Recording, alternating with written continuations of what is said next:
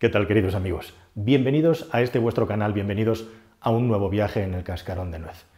A veces la humanidad tiene sueños que vistos con distancia pueden parecer horribles, pero que al mismo tiempo parecen imparables. Y parece ciencia ficción y parece incluso exagerado, pero cada vez hay más voces reputadas en el mundo que hablan de personas, de científicos, que en algún momento crearán una especie de humano distinto al humano que conocemos nosotros hoy en día. No tendrá a lo mejor tres ojos, ni cabeza de lagarto, ni nada por el estilo, son cambios mucho más sutiles de principio y no sabemos hasta dónde van a llegar. Pero lo verdadero y cierto es que los primeros seres humanos modificados genéticamente ya están aquí porque siempre hay alguien dispuesto a saltarse las normas, como digo, siempre hay alguien dispuesto a llegar más allá.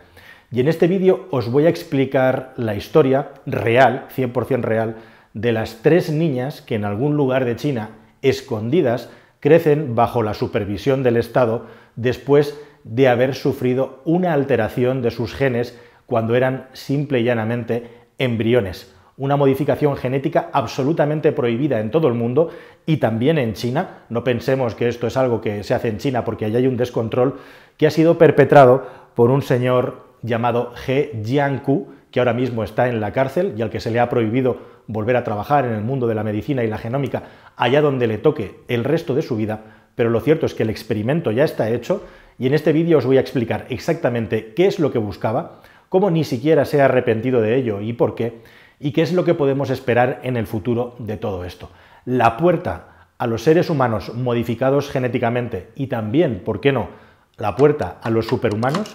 acaba de abrirse.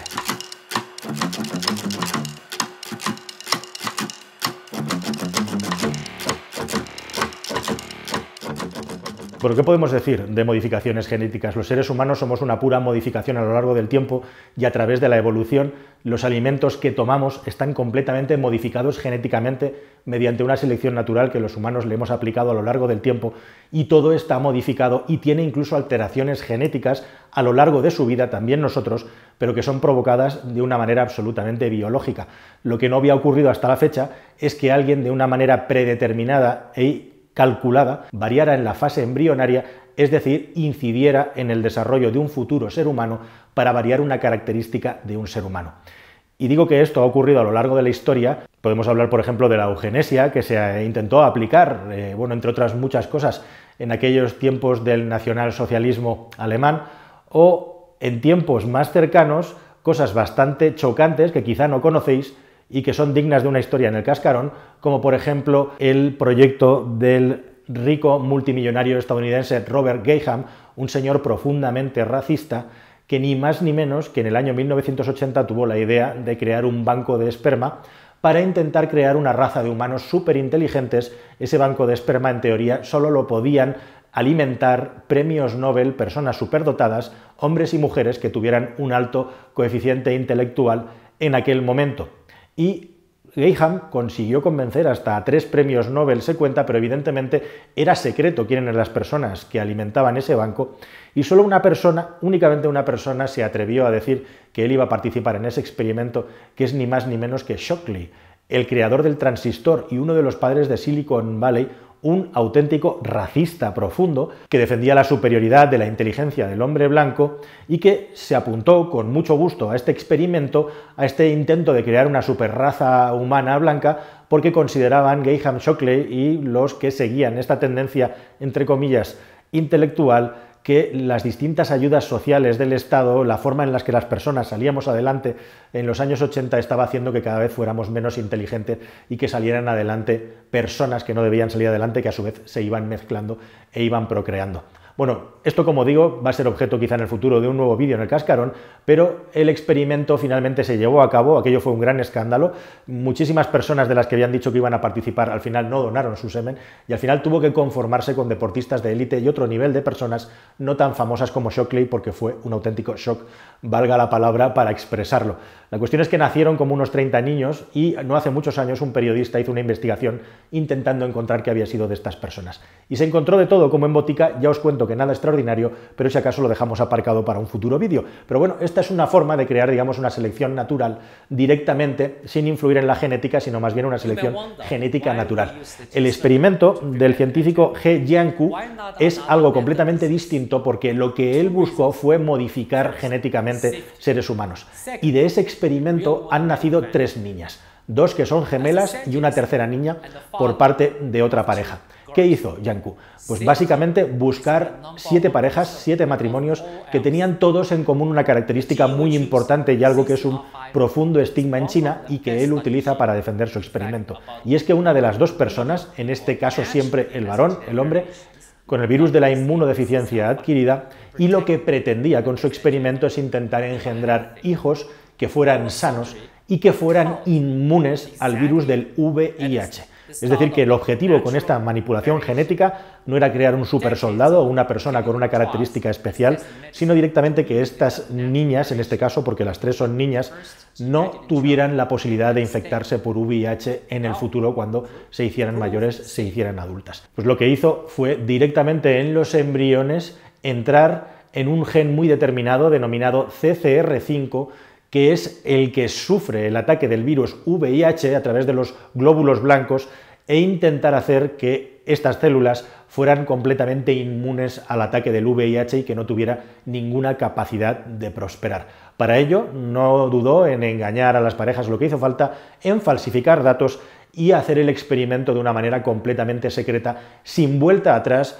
hasta que las niñas ya habían nacido. De hecho, en alguno de los experimentos que hizo, en alguna de las modificaciones de los embriones, como te voy a explicar a continuación, sabía que había cometido errores y que las cosas se habían ido de madre y en lugar de eliminar el experimento acabó fecundando in vitro a las madres que posteriormente procrearían a estas niñas. Pero ¿cómo es posible hacer todo esto al margen de una manera clandestina? Bueno, pues para eso tenemos que entender muy bien cómo funciona el genoma y también qué es la tecnología CRISPR. Vamos a empezar por el principio. Cada célula, cada única y sola de las miles de células que tiene nuestro organismo es una copia completa de nuestro genoma, que por decirlo de una manera comprensible está compuesto por 6.000 millones de letras. Es como una especie de manual de instrucciones biológico que todos llevamos impreso en nuestras células. Y existen hasta 75.000 posibilidades de variantes genéticas que pueden producir distintos tipos de problema de mayor o menor importancia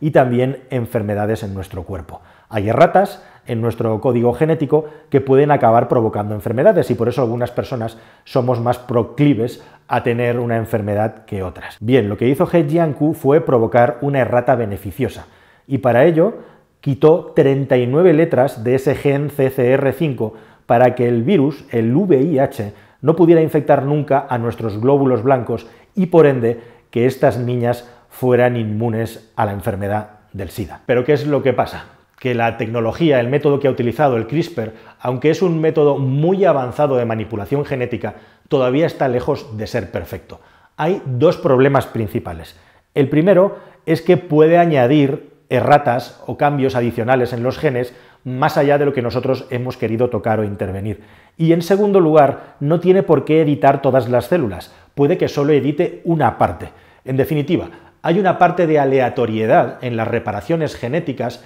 que pueden provocar consecuencias en cadena que no están previstas y que no podemos controlar. Esto sería algo así, haciendo un símil bélico, como que lanzamos una bomba y sabemos dónde vamos a terminar lanzándola y dónde va a acabar cayendo, pero no podemos conocer del todo las consecuencias que va a provocar en lugares en los que no queremos impactar y que va a impactar. Y esto es exactamente lo que le pasó a este científico. Hay un humano ahora mismo, mejor dicho, tres humanos que tienen dos tipos de genomas distintos, el suyo, el original y el modificado. Y en cuánta cantidad ha sido modificado la parte que no es natural, no tenemos ni idea, porque este es otro asunto clave. Todo esto se ha llevado con un secretismo tremendo y de hecho nos enteramos porque esta persona tiene mucho ego y no solamente lo anunció en congresos profesionales, sino que incluso en su canal de YouTube hizo el anuncio explicando que lo hacía por el bien de la ciencia, por el bien de la humanidad y que su acción solamente tenía una idea que era beneficiar a estas parejas que habían perdido la esperanza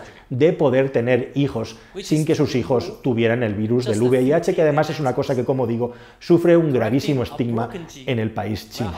La cuestión es que estas niñas desde entonces y desde que se descubrió el problema han sido totalmente gestionadas y están siendo tuteladas por el Estado chino, viven en el más absoluto de los anonimatos y según explican los expertos en manipulación genética, pueden sufrir en el futuro graves problemas físicos de toda índole, graves cambios en su salud provocados por este cambio genético e incluso en algún momento un fallo multiorgánico que les acabe provocando la muerte. La verdad es que hasta donde sabemos las niñas tienen tres años ahora mismo y las tres están vivas, pero no se sabe por cuánto tiempo van a poder vivir, si van a tener una vida plena o si no. Puede ocurrir en cualquier momento, en la adolescencia, cuando hay muchos cambios. Todo esto lo dicen, como digo, los expertos en genética a los que se ha consultado. E igualmente también para estos expertos, la comunidad científica aparte de ser un auténtico atentado a los códigos internacionales, es igualmente recalcitrante el hecho de que China no quiere dar ningún tipo de información de cómo ha funcionado el experimento. Y esto también molesta mucho